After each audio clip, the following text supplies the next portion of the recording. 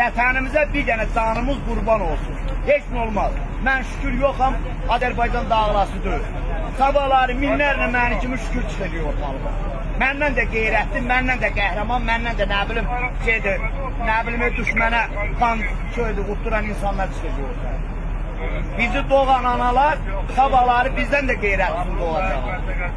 Bizə lazımdır bu gün, bu gün şərəflə, namusla, qeyrətlə bir olaq, yumru olaraq o şərəfsizləri yazırımıza, şuşamıza və 90-93-cü illərdə başımıza açılan oyunlar, o qız gəlinimizdə o başlarına olan o zorakılıq gətirilən hadisələrin qisasını alın.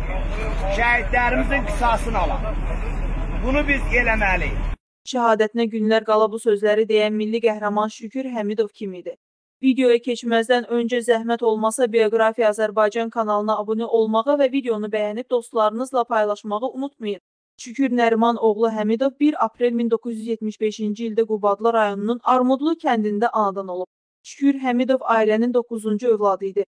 Şükür 1982-ci ildə Qubadlı rayonunun Başarat kənd tam orta məktəbinin birinci sinfinə qəbul olub və 1990-cı ilə qədər orada təhsil alıb. 1993-cü ildə Qubadlı rayonunun ermənilər tərəfindən işğal edilməsindən sonra Həmidovlar ailəsi Sumqayıt şəhərinə gəlirlər və əvvəlcə bir otaqlı mənzildə, 2 ay sonra isə yataqxanada yaşamağa başlayırlar. 1993-cü ildə məktəbi bitirən Şükür həmin ildəki sənədlərini Bakı Ali Birləşmiş Komandalıq Məktəbinə verir və həmin məktəbə qəbul olur. 1995-ci ildə oranı motatıcı ixtisası üzrə bitirmişdir. Şükür Həmidov 2003-cü il avqustun 11-də Könül Əliyeva ilə ailə həyatı qurmuşdu. 2005-ci il təvəllüdlü Əzizə adında qızı və 2008-ci il təvəllüdlü Nurlan adında oğlu yadigar qalıb. 1995-ci ildə ali hərbi təhsilini başa vuran Həmidov Müdafiə Nazirliyinin əmrinə əsasən Azərbaycan Silahlı Qüvvələrinin Naxçıvan Muxtar Respublikası ərazisində yerləşən hərbi hissələrinə göndərilmişdir və 11 il orada xidmət eləmişdir. 2006-cı ilin avqustundan isə şükür ixtisasının artırılması üçün Azərbaycan Silahlı Qüvvələrinin Hərbi Akademiyasının müdavimi olub. 2008-ci ildə təhsilini uğurla başa vurub. Azərbaycan Silahlı Qüvvələrinin Naxçıvan ərazisində yerləşən hərbi hissələrində 11 il qüsursuz xidmət edən Şükür Həmidov 2008-ci il iyunun 25-də Ağcabədi rayonunda en saylı hərbi hissədə 1-ci taborun komandiri vəzifəsində xidmət eləməyə başlamışdır. 2009-cu il sentyabrın 10-na qədər bu vəzifədə xidmət edən Şükür Həmidov növbəti 4 il ərzində müxtəlif hərbi hissələrdə qərargah rəisi vəzifəsində xidmət eləmişdir. 2009-2011-ci illərdə Füzuli rayonunun Horadiz şəhərində en saylı hərbi hissədə komandirin müavini qərargah rəisi vəzifəsində xidmət edən Şükür Həmidov qüsursuz xidmətinə görə 2010-cu ildə polkovnik leytenant hərbi rütbəsi almışdı. Daha sonra o 2011-2012-ci illərdə Beyləqan rayonunda en saylı hərbi hissədə komandirin müavini qərargah rəisi. 2012-2013-cü illərdə isə Ağcabədi rayonunda en saylı hərbi hissədə komandirin müavini qərargah rəisi vəzifəsində xidmət eləmişdir. Sonrakı illərdə Bərdədə, Goranboyda və Horadizdə yerləşən en saylı hərbi hissələrdə xidmət etmişdir. 2016-cı il aprelin 1-dən 2-sinə ötən gecədən başlayan tarixi aprel döyüşləri olaraq yazılan hərbi əməliyyatlar zamanı Şükür Həmidov Horadiz şəhərində en saylı hərbi hissənin komandiri idi. Cəbhənin Cəbrayıl rayonu istiqamətində gedən döyüşlərin idarə edilməsi məhz ona həvalə olunmuşdu. Gecə döyüşləri zamanı Cəbrayıl rayonunun Lələtəpə istiqamətində olan əlverişli mövqelər, strateji nöqtələr, o cümlədən Lələtəpə zirvəsi Azərbaycan ordusu tərəfindən işğaldan azad olunmuşdu. Həmin döyüşlərdə Ermənistanın Müdafiə naziri Seyran Ohanyan tərəfindən qurulan və Ermənistan ordusunun yenilməz Ohanyan xətti olaraq tanınan müdafiə xətti 40 dəqiqə ərzində darmadağın edilmişdir. Polkovnik leytenant Şükür Həmidov Azərbaycanın ərazi bütövlüyünün qorunub saxlanılmasında xüsusi xidmətlərinə və döyüş tapşırığını yerinə yetirən zaman göstərdiyi şəxsi igidliyə görə Azərbaycan prezidenti İlham Əliyevin 20 aprel 2016-cı il tarixli 1966 nömrəli sərəncamına əsasən Azərbaycanın milli qəhrəmanı adı verilmişdir. 2016-cı il mayın 10-da isə Müdafiə naziri Zakir Həsənovun əmrinə əsasən Şükür Həmidova vaxtından əvvəl növbəti polkovnik hərbi rütbəsi verilmişdi.